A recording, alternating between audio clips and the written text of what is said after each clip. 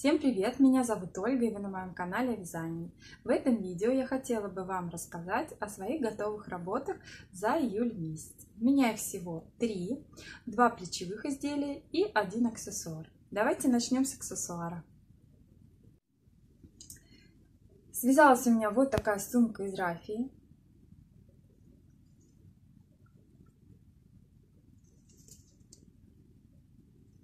Вот такое донышко. Я сейчас расскажу, как это все вяжется. Значит, связана эта сумочка у меня из рафии от Artland. 100 метров 40 грамм. Расход составил 3 моточка пыльная роза и 3 моточка цвет мяты. У меня вот остатки от розового, это все, что осталось, пошли на украшение, на перышко. Так, давайте вот так покажу. Оно достаточно жесткое, но это от того, что я пропитала его клеем ПВА. То есть я его клеем ПВА пропитала с двух сторон и высушила. И все.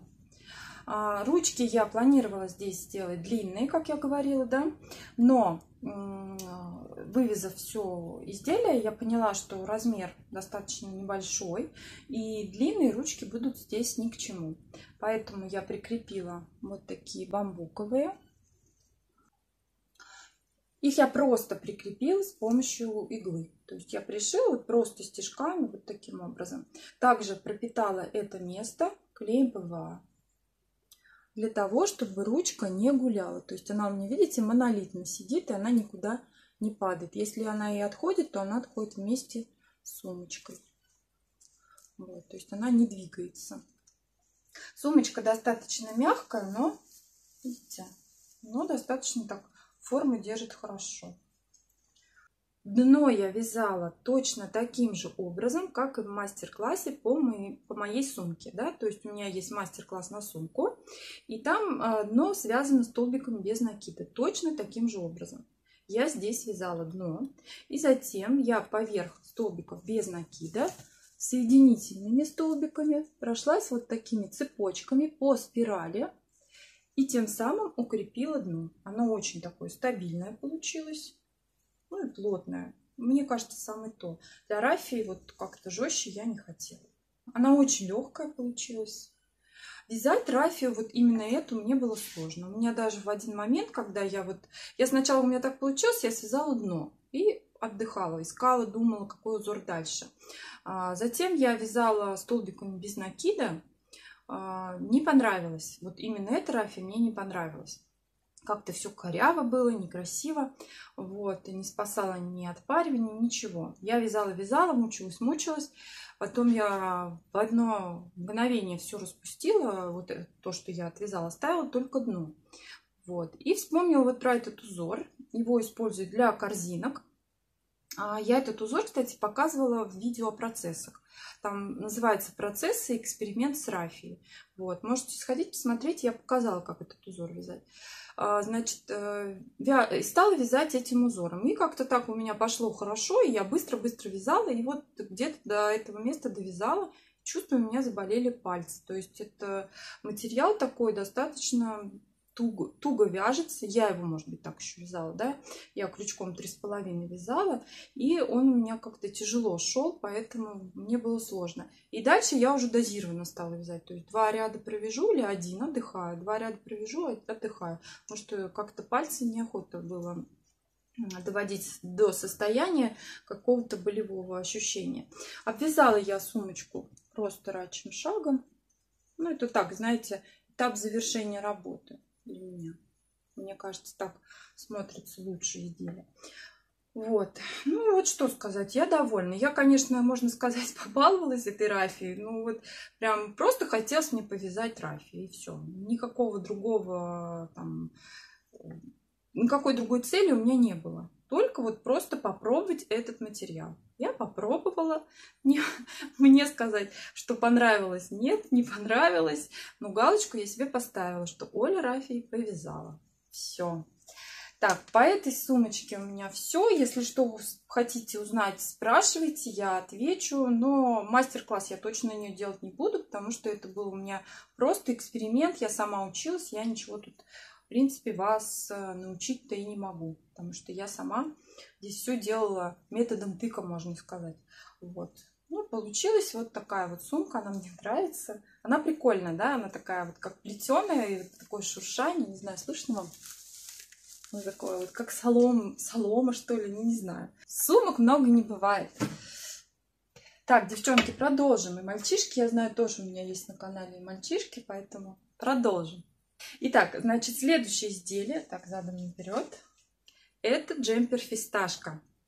У меня на канале уже есть мастер-класс на этот джемпер. Вот. Давайте посмотрим, как он сидит на мне, и я вам расскажу, кто не видел мастер-класс, а, из чего он связан и какие-то подробности.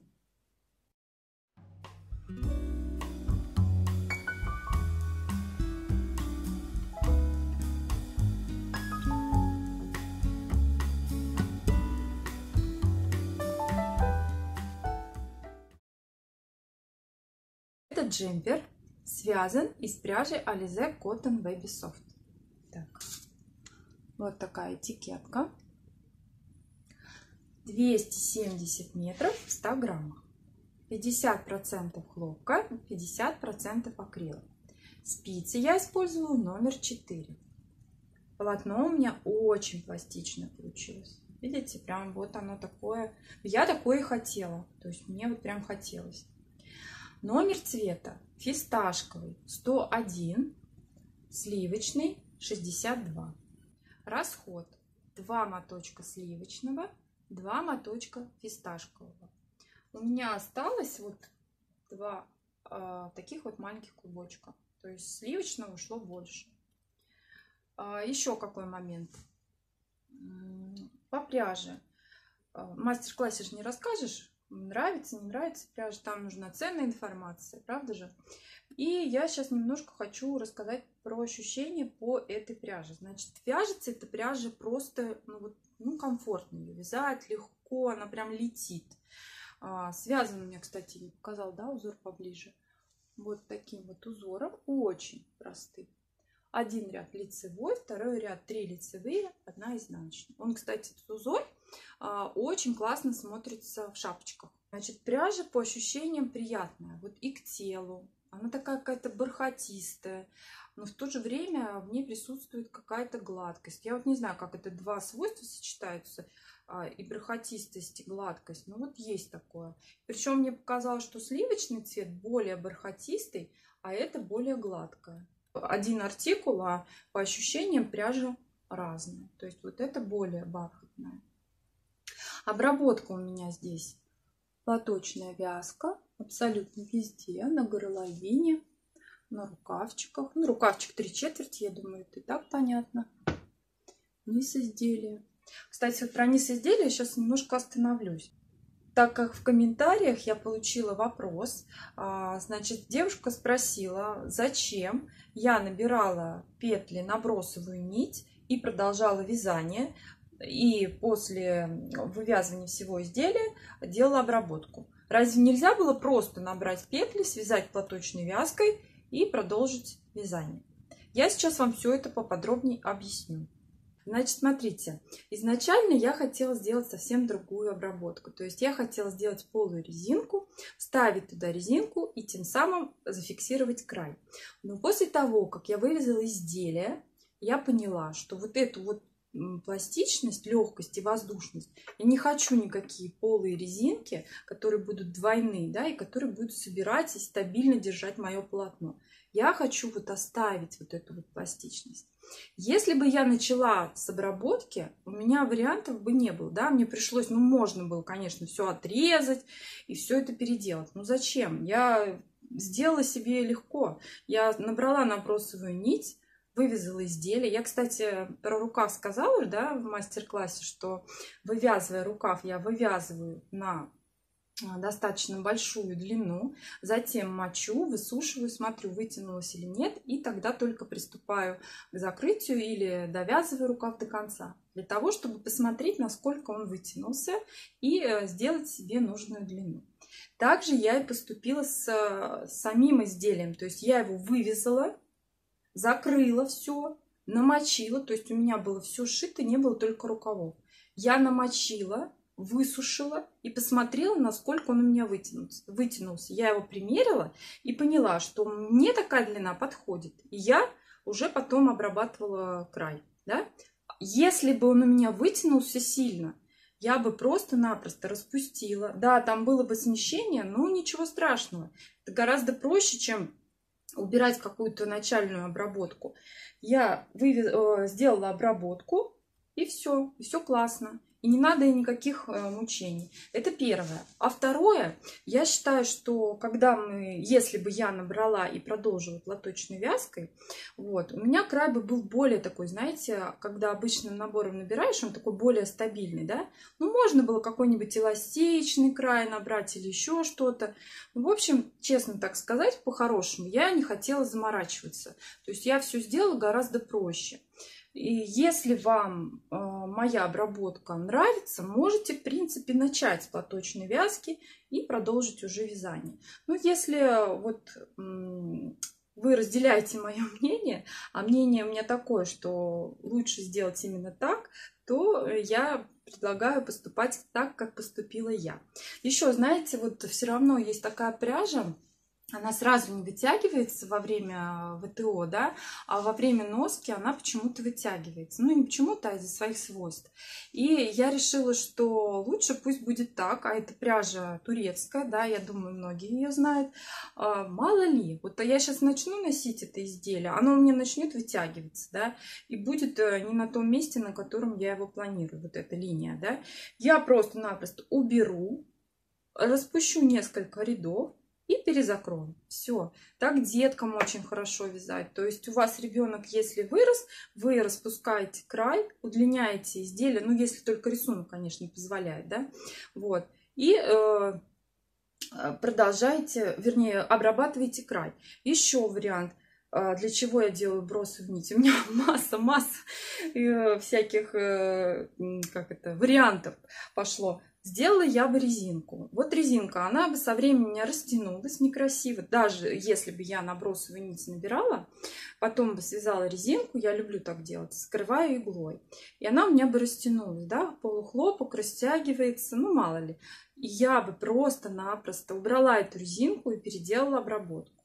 Смотрите, сколько масс вариантов, если бы у меня был э, набран край набросанную нить. Если бы он у меня был просто связан платочной вязкой и продолжила бы я вязать, то у меня вариантов уже этих не было.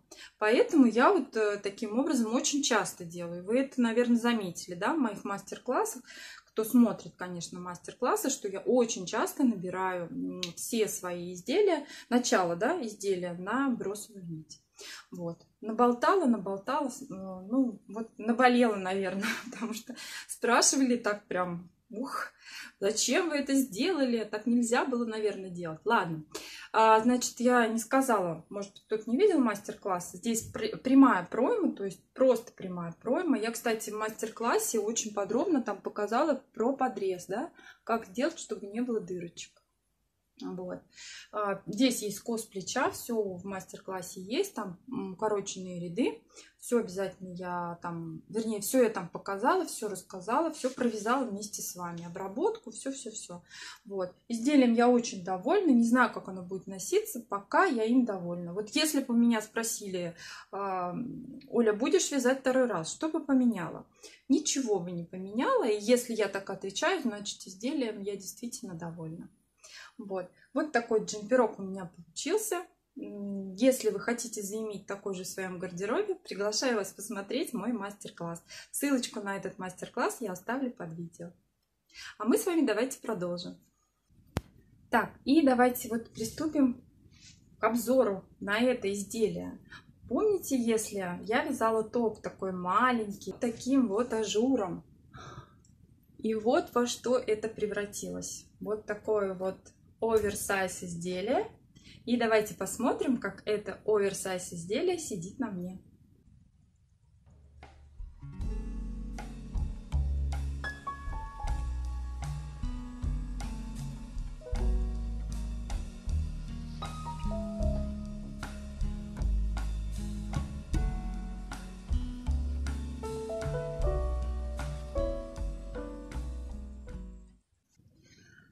Надеюсь, вам понравилось, как это изделие сидит на мне. Мне оно очень нравится. Оно такое классное получилось, такое, знаете, воздушное, нежное, в то же время спортивное. Ну, я так и хотела. Я а, немножко так хотела в спорт-шик уйти. То есть такой, знаете, ажур, да, с элементами спортивности. То есть это вот кулиски, вот эти вот завязки полосочки, ну то есть вот э, что-то такое спортивно-ажурная футболка, если можно так сказать, да.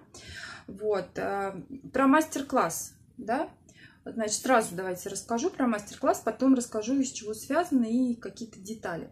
Значит, э, мастер-класс я буду делать обзорный. То есть я буду рассказывать именно в плане обзора. Мне кажется, не каждый новичок отважится вязать вот такие вот изделия, да. И я решила, что мастер-класс будет именно обзорный. Но для новичков, для тех, кто все-таки хочет попробовать связать что-то подобное, я в этом мастер-классе расскажу, а, как упростить выкройку, может быть, даже как поменять пряжу для того, чтобы было изделие подобное этому. То есть вот э, я, скорее всего, хочу включить это в мастер-класс. Ну, это как получится. Это я только планирую, да. Вот. Но обзорный мастер-класс я точно буду делать по нему. То есть как я что вязала, в какой последовательности, сколько петель набирала, на что отталкивалась, когда э, набирала количество петель. В общем, все-все-все, что у меня есть по этому изделию, я вам в этом обзорном мастер-классе выдам. Вот. А давайте теперь расскажу, из чего это связано. Я думаю, многие эту пряжу помнят. Я уже показывала. Клеопатра от Сиа. В 50 граммах 180 метров. Стопроцентный мерсеризованный хлопок. А, номер цвета не знаю, какой именно здесь. Здесь 120102. Вот две циферки. Так, значит, что еще по изделию? Изделие сшивное. То есть оно полностью сшивается, вяжется отдельно спинка, отдельно перед. И потом сшивается. Очень классно узор. Смотрите, вот на шве, я вам сейчас покажу. Вот это вот у меня получается, э, начинается шов. И вы видите, он стыкуется абсолютно идентично э, основному узору. То есть у меня получается половинка была с одной стороны, половинка э, на спинке и на переде. И получается, когда сшиваешь боковой шов, он получается вот так вот. То есть его практически не видно. Да? Низ изделия я обрабатывала, ну как вам сказать, значит, э, у меня, во-первых, все на бросовую нить опять, да, я набирала и вязала. Сняла бросовую нить, вывязала лицевую гладь на 4 сантиметра, по-моему, сейчас точно не скажу, в мастер-классе все уточню. И затем с помощью иглы просто через край вот так зафиксировала. Абсолютно просто без, каких, без кетлевки. Ну, если есть желание, можно покетлевать.